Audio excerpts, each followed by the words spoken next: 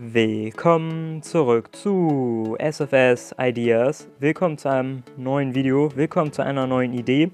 Und diese hier ist vielleicht ein bisschen kontrovers, ja. Und zwar ein neues Feature für die Cheats-Expansion. Und zwar Auto Orbit oder Auto Orbit beziehungsweise automatischer Erdorbit, wenn man es so sagen möchte. Im Grunde eine Option, ja, in den Einstellungen, wo man, beziehungsweise bei den Cheats, wo man das aktivieren kann. Damit kann man automatisch in einen Erdorbit gelangen und das seht ihr dann hier ähm, ja, mit so einem zusätzlichen Knopf, der dann halt erscheint, wenn man diese Option aktiviert hat und zusammen mit dem allerersten Prototypen könnte man sagen von meiner äh, Mikroraumstation. Ja, so hat sie ganz am Anfang ausgesehen. Und das war auch so ziemlich der Grund, warum ich überhaupt erst darüber nachgedacht habe. Ich habe halt viele unterschiedliche Designs gehabt, die ich dann immer wieder ins All gebracht habe, um zu schauen, ob sie denn dazu fähig sind, wozu ich dann am Ende die Mikroraumstation ja auch verwendet habe, nämlich Sachen von einem Planeten zum anderen zu bringen, beziehungsweise auch zum Mond. Und äh, dementsprechend war es ziemlich nervig, das andauernd ins All zu bringen. Und dann dachte ich halt eben, Warum kann man nicht daraus einen Cheat machen? Ja, dass man automatisch ins All gelangt. Und wenn man halt auf den Knopf drückt, dann sieht das so aus. Ich weiß es jetzt hier auf Englisch.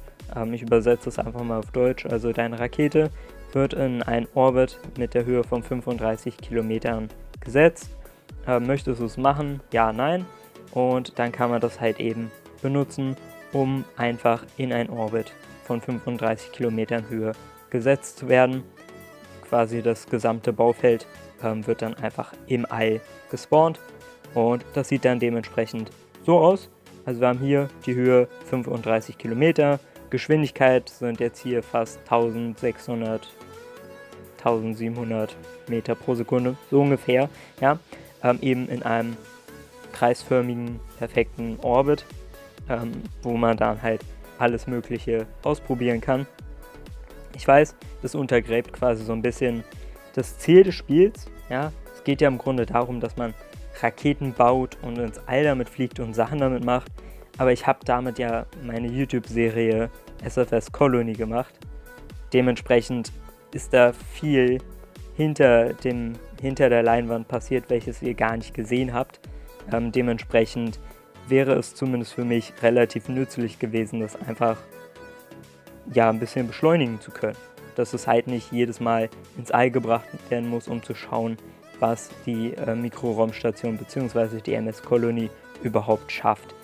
Dementsprechend habe ich darüber halt nachgedacht und da haben wir halt hier nochmal eine weitere Ansicht ähm, von der Raumstation selber im All dann. Genau. Also, was denkt ihr darüber? Ist es auch kontrovers? Denkt ihr, das sollte nicht hinzugefügt werden? Oder vielleicht doch?